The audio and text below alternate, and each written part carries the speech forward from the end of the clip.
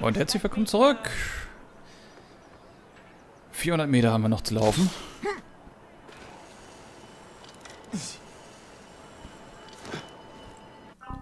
Kann man hier irgendwas sehen? Was bisher geschah. Jacob erfuhr, dass Derricks Bankier Philip Twopenny seine Position als Governor nutzen wollte, um die Bank of England auszurauben.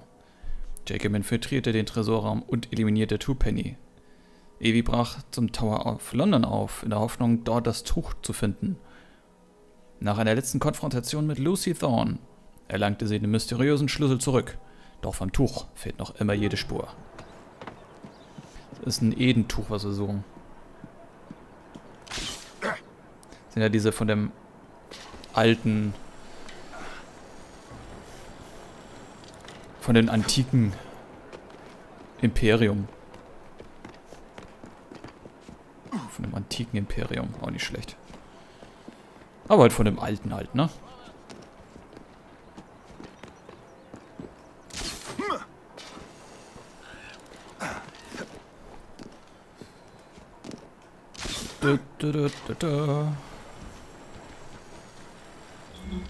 Ich krieg schon wieder Hunger. Dabei habe ich schon was gegessen. Naja, eigentlich auch nicht wirklich. Ein Fischbrötchen. Und ein Haufen Lebkuchen.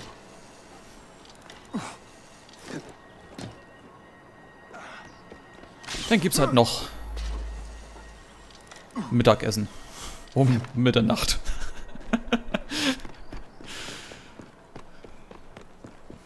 Warum nicht?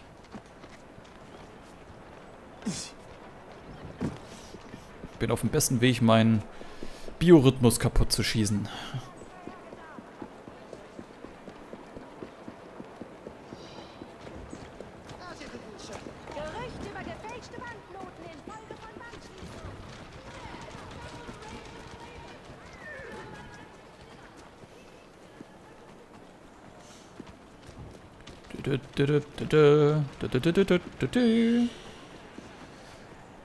Alle Eingänge finden Nein! Oh, scheiße.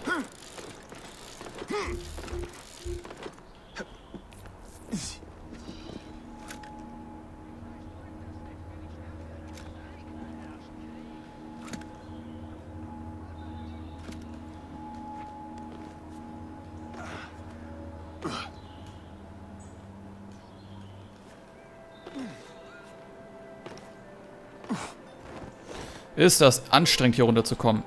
Ah. Pass lieber. Ja, ich passe lieber, das stimmt.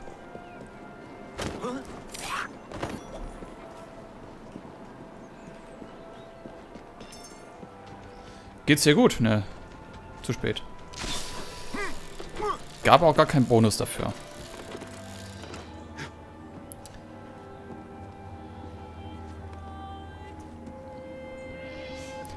Die Leibwache. Hallo. Jacob wird den Premierminister vor der Gefahr für sein Leben warnen und zur Identifikation des uniformierten Mannes namens B befragen.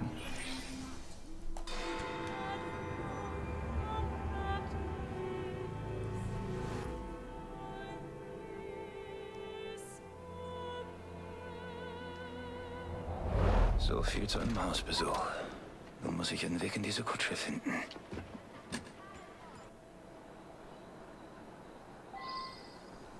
Ein Weg zu der Kutsche. Disraelis Kutsche infiltrieren.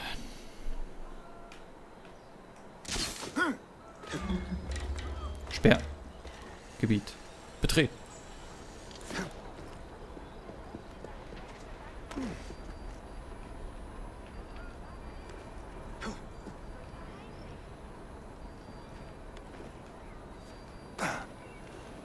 So, runter und über da.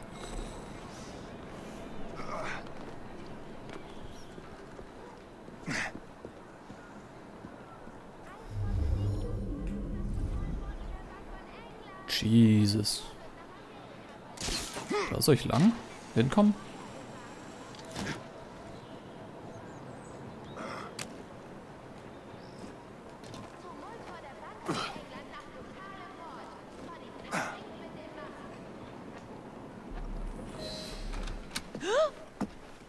Hi. Was hat das zu bedeuten? Wer zum Teufel sind Sie? Premierminister, ich bin der neue Leibwächter, Jacob Fry.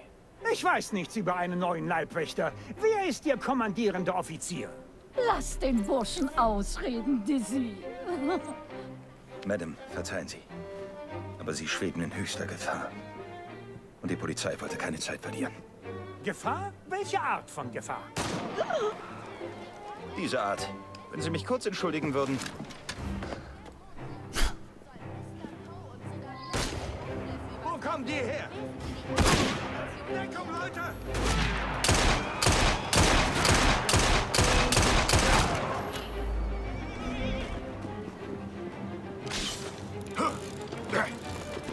Ein besseres Schussfeld.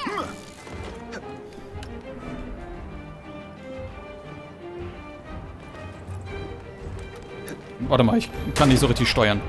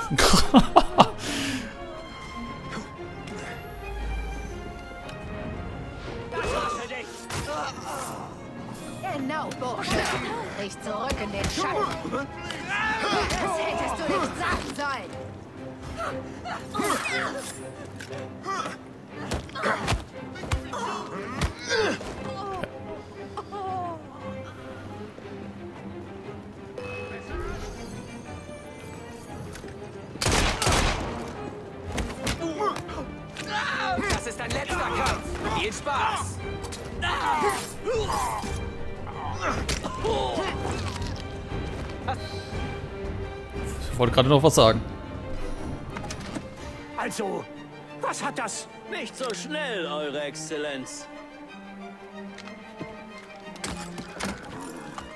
Ey!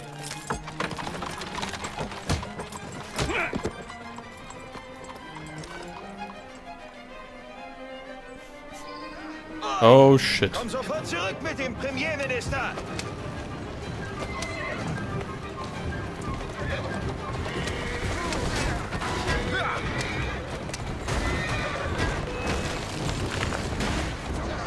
Oh.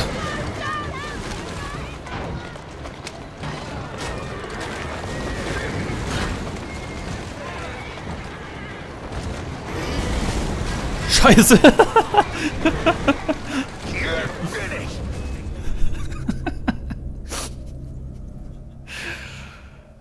Ups. Ähm, ich darf den ja nicht zerstören. Das habe ich gerade nicht gemerkt. Habt ihr nicht gesehen? Oi! Ui! Sofort zurück mit dem Premierminister!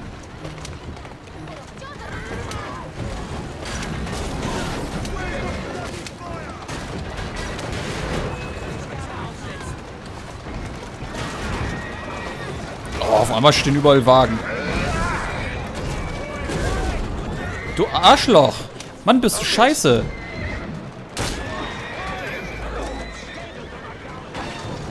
Hat er mich auch noch eingekeilt? Ich glaub's ja nicht.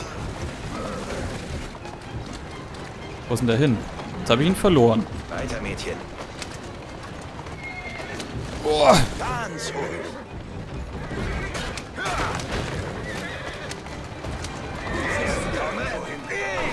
Oh, ihr seid scheiße.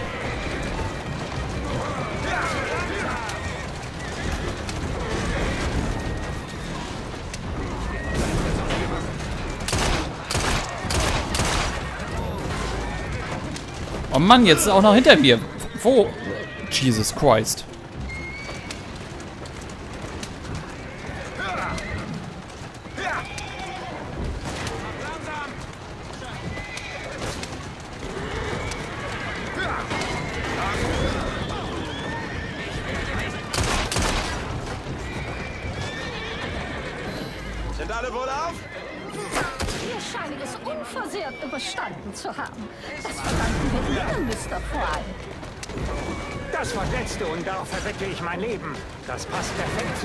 Ausgesprochenen Mangel an Charakter. Zeigen Sie sich, Gladstone! Zeigen Sie sich, Sie verkommene Dreckschleuder! Er wird wohl kaum mit einem Knüppel vorne wegmarschieren, Dizzy.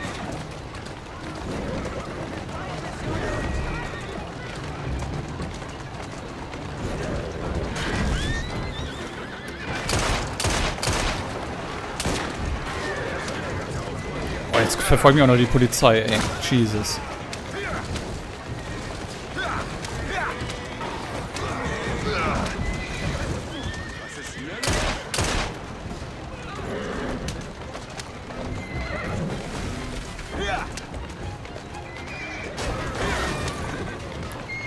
Nee, bitte fahren, bitte fahren.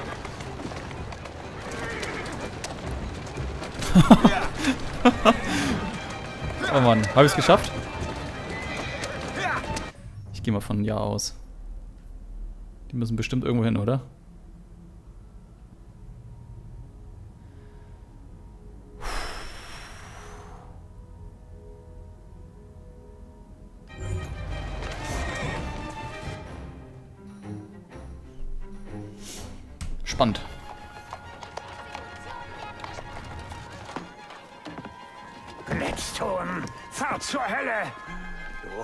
Hundesohn! Vielen Dank. Äh, was wollen Sie gegen Gladstone unternehmen, junger Mann? Ich versichere Ihnen, Madame Gladstone hat nichts damit zu tun. Aber er versuchte, meinen Mann zu töten. Nun, wir kümmern uns um Gladstone. Vielleicht könnten Sie mir bei einem anderen Problem helfen, Madame. Ein Gentleman mit Verbindungen zum Parlament. Älter, trägt eine Kavallerieuniform und einen langen Bart?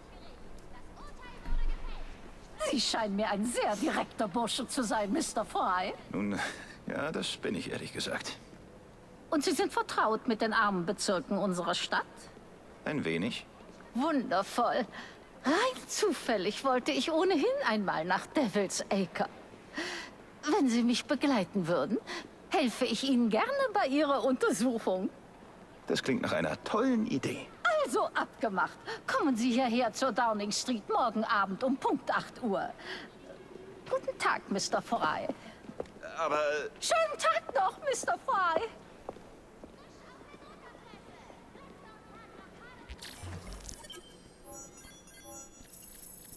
Führt weniger als eine Minute entführen. Das soll gehen? Ja, gut, wenn man es geschickt macht. Ah, Mist, jetzt habe ich sie nicht bewertet. Ich gebe 5 Sterne. Weil lustig.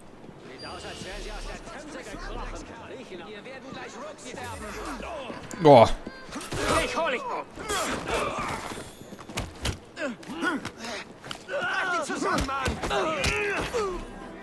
Mausetot. Auf Nimmerwiedersehen. Der muckt so schnell nicht wieder auf.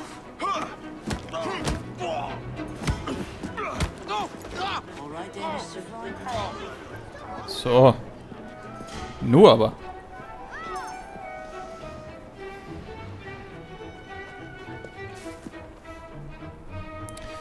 Lass uns doch mal Munition kaufen. Die letzte habe ich nämlich gerade alles verschossen.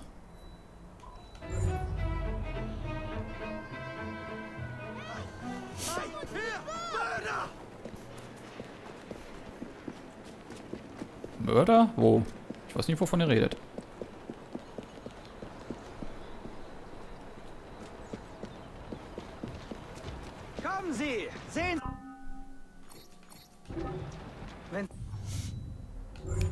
Gut. So.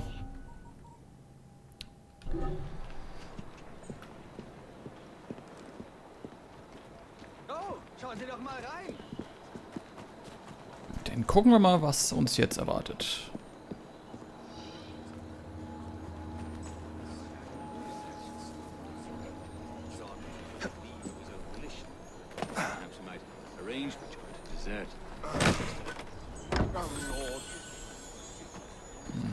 Okay.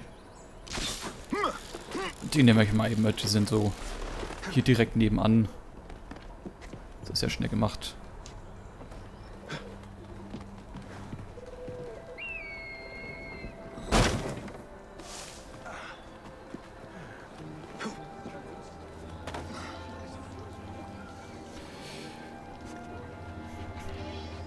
Mrs. Disraelis Chauffeur. Mary Ann. Aber gucken wir, die haben ein Taschen, eine Taschenratte. Mary Ann Disraeli möchte sich Devils... Devils Acre? Acre ansehen und benötigt die Hilfe ihres neuen Leibwächters Jacob. Jacob ist also Leibwächter jetzt. Wurde wohl befördert. Madam, Mr. Fry, bereit für unseren Ausflug? Devils Acre erwacht in Kürze zum Leben. ich fürchte, ich muss unsere Verabredung leider absagen. Auf dem Rasen wimmelt es von skandalgeifernden Journalisten. Und ich möchte nicht gesehen werden in der Gesellschaft eines so. Ich vertreibe Sie. Sie folgen mir, wenn die Luft rein ist. Ja, ja, aber seien Sie nett. Bitte. Die Presse reagiert ausgesprochen sensibel, wenn es um Gewalt gegen sie geht. Ich werde Ihnen kaum ein Haar auf dem Kopf krümmen. Desmond, Siehste, Jacob, ich hätte es von vornherein gelassen, den anzufassen. Reporter, die Reporter mit den Zeitungsmädchen ablenken. Mit dem Zeitungsmädchen? Ach. Okay. Ich gehe ja nur, nur so vorbei.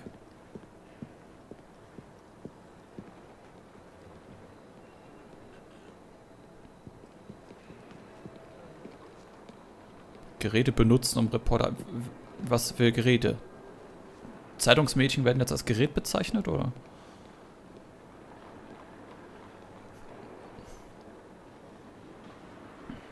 Hm.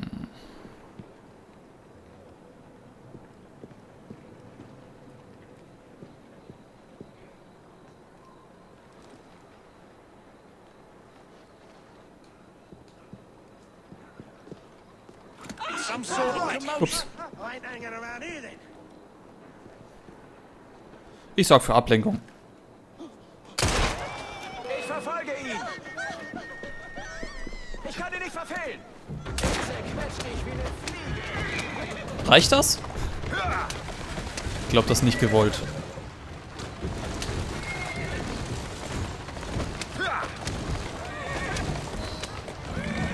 Das war richtig.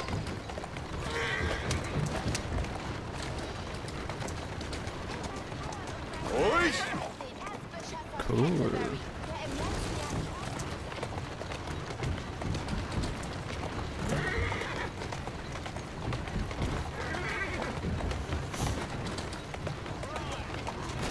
Oh. Ich habe gerade nicht auf den Bildschirm geguckt. Gut so, Mädchen. Langsamer. Dizzy sollte sie mit den Liberalen reden lassen. Nun steht eine Ausfahrt Mit den Liberalen? Nee, danke. Falsche Kutsche, aber ich nehme sie auch.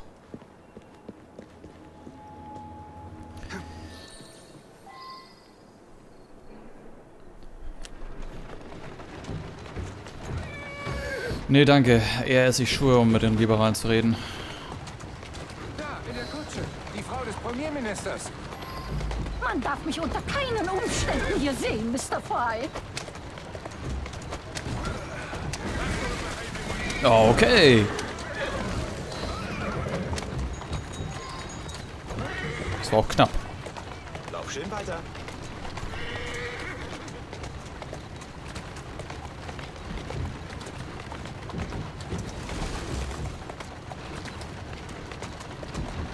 Mit mir, Eiltransport. Oh, Paparazzis, ey.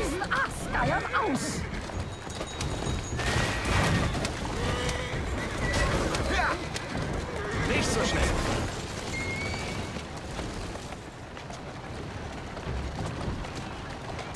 So ist's recht. Ich habe schon Platten vorne. Sachte.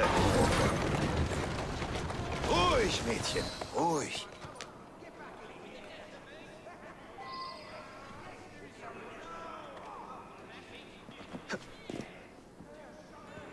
Und nicht von Schlägern entdecken lassen.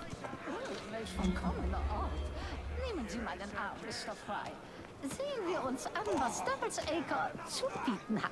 Ich soll mich doch nicht entdecken lassen.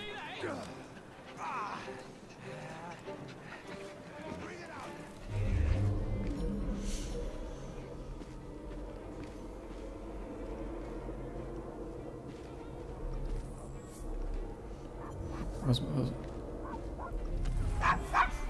Ist mit Ihrem Hund alles in Ordnung? Oh, Desmond geht es gut. Er mag bloß Fremde nicht allzu gerne. Na super. Oder Katzen. Ich darf nicht schießen.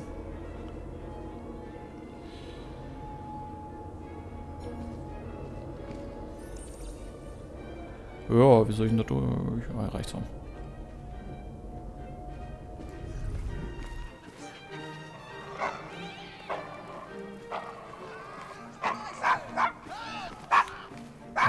Traue gar keinen Hund. Desmond! Nein! Böser Hund! Beruhigt er sich auch mal irgendwann, weil wenn es voll so einen riesengroßen Megakreis gibt, werde ich mich nicht be Wussten Sie, dass dieser Gentleman ein, ähm, wie war das ja, äh, fliegender Händler nannte er sich? Oh, bemerkenswert, wie die Arbeiterklasse sich zu helfen weiß. Sehr geschäftstüchtig, ganz sicher. Sollen wir gehen? Da sagt der Vikar, tut mir leid, Bischof. Ich dachte, das war die Eucharistie. Nein, tut mir leid. Ich verstehe leider überhaupt nicht, wovon Sie reden. Mrs. Disraeli?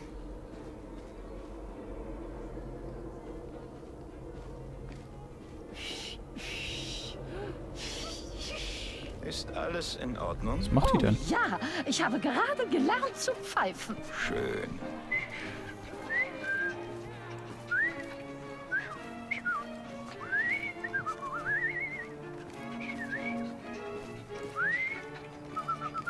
Na, das ist Synchronisationstalent. Oh, Mr. Fry. Ich glaube, der Mann ist betrunken. Da haben Sie wohl recht. Ich war doch gerade fast da. Und dann müsst ihr mir das versauen?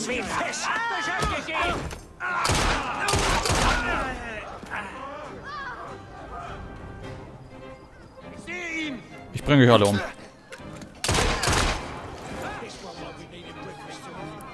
So, die Eskortarm ist weg. Scheiß Blighters, ey. Ich dachte, ich hätte euch alle ausgerottet. Äußerst galant, Mr. Fry. Sollen wir weiter? Oh, Mr. Fry. Ich glaube, der Mann ist betrunken. Da haben Sie wohl recht, Madame. Ich frage ihn, was er trinkt. Vielleicht dürfte ich lieber etwas anderes vorschlagen. Oh, Mr. Fry. Sehen Sie die beiden da? Ähm, ja, die äh, scheinen sich, ähm... Ich war zweimal verheiratet, Mr. Fry. Ich weiß nur zu gut, was die beiden tun. Gott segne sie. Genau. Was für eine Art Fleisch verkauft dieser Mann? Fragen Sie besser nicht. Warum?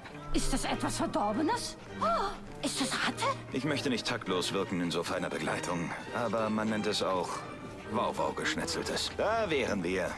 Der alte One... Also das ist ein Pint, nicht wahr? Oh, äh, bemerkenswert.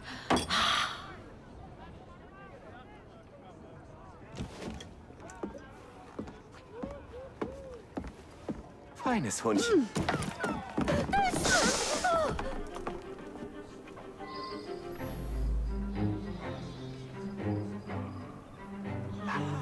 Ja, ist ja gut. Ich laufe hinterher. Oh.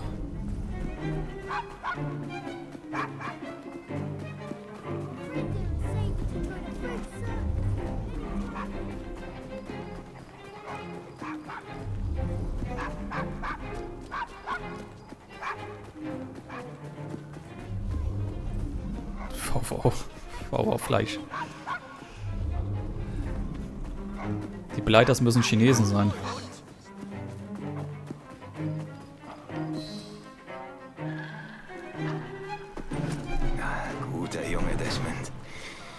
Los, gib mir die Tülle. Wenn meine Freunde hier wären, sähe die Sache anders aus.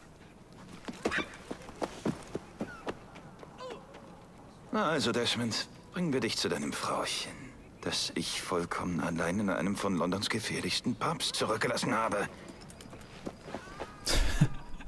Fällt dir jetzt das auf? Nun, wenn Sie Ihrem Vater nie gesagt haben, was Sie über ihn denken, woher sollte er es wissen? So habe ich das nie gesehen. Tief im Innern wollen wir alle nur geliebt werden. Richtig. Hm. Hier, was Süßes. Oh, Desmond und Mr. Fry. Darf ich vorstellen? Äh, oh, tut mir leid, wie war doch gleich Ihr Name? John, der Stroller. Angenehm. Ich bringe es jetzt besser nach Hause. Recht haben Sie, Mr. Fry. Komm schön mit, Desmond. Wie sie Desmond eingebaut haben. Desmond aus Assassin's Creed 3. Da ist er also geblieben. Sieh mal an. Wenn das nicht der Hundeknecht ist. Na, lasst uns nichts tun, was wir bereuen würden. Huch.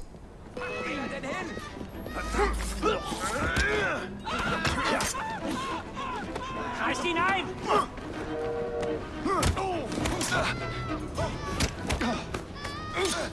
Bring's zu Ende und wir gehen was trinken.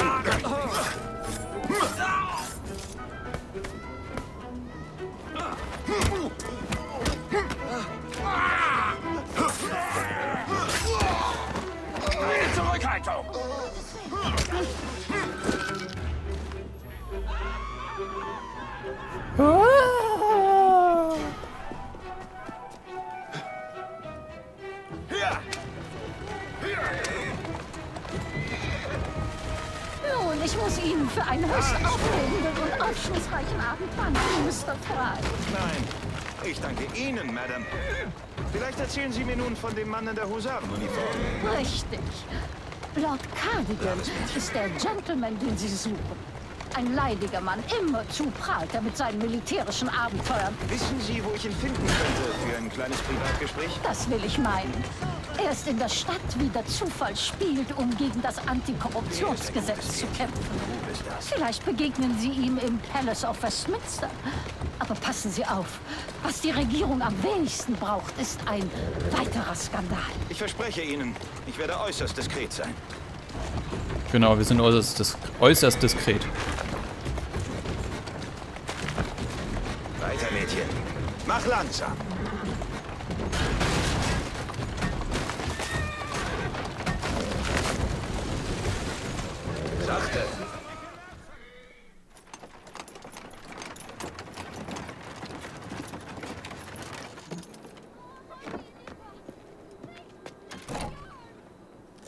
Station, Madame.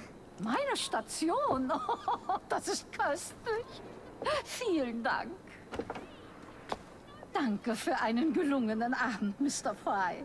Ich werde Sie in den höchsten Tönen bei Dizzy loben.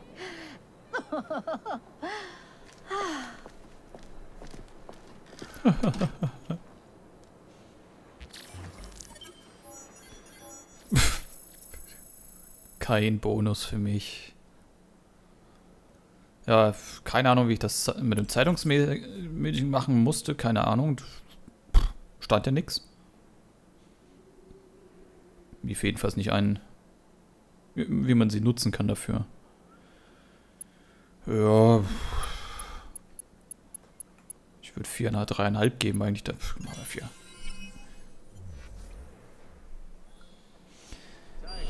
Gut. Und beim nächsten Mal geht's weiter. Danke fürs Zusehen.